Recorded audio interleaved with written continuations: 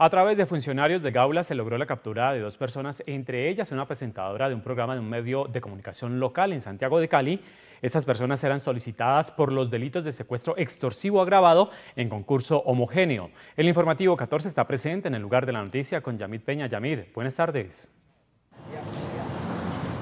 Muy buenas tardes, André Felipe y televidentes del informativo 14. A esta hora del día los estoy saludando desde el centro de la ciudad, aquí en el comando de la Policía Metropolitana de Cali porque hace pocos minutos se dio la captura de dos individuos aquí, en la Sultana del Valle, sindicados del delito de secuestro extorsivo. Buscaban sus víctimas en lugares nocturnos de la capital del Valle del Cauca, específicamente un hecho presentado en el año 2011. Esas fueron las palabras del subcomandante de la Policía Metropolitana de Cali. El Gaula de la Policía Metropolitana de Cali logra la captura de dos personas que fueron responsables de un secuestro extorsivo hacia el año del 2011.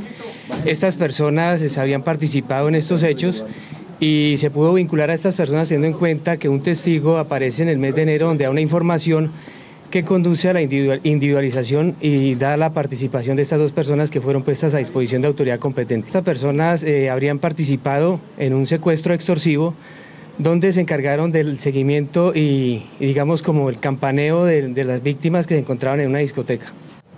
Andrés Felipe y televidentes del informativo 14 de estas dos personas capturadas, una de ellas una mujer, una presentadora de un medio de comunicación local aquí en la capital del Valle del Cauca. Esta mujer cumplía un papel importante dentro de la organización porque era la intermediaria, la campanera la que buscaba a las víctimas en estos lugares nocturnos, empresarios ellos, personas para después, por supuesto, pedir dinero por su liberación. Estas dos personas que fueron secuestradas eh, durante el hecho presentado en el 2011 fueron asesinadas y lanzadas al río Cauca que aún se encuentran en la búsqueda de sus cadáveres. Persona o la presentadora que ustedes mencionan era servir de, digamos como de campanera avisándole si en la ruta hacia el cautiverio estas personas eh, había puestos de control y de todas maneras estar pendiente para informarle a, las, a estas personas que hicieron el, secuestro. De acuerdo a la información que se tiene de la investigación, estas personas fueron asesinadas y lanzadas al río Cauca, donde el momento no se han ubicado los cuerpos.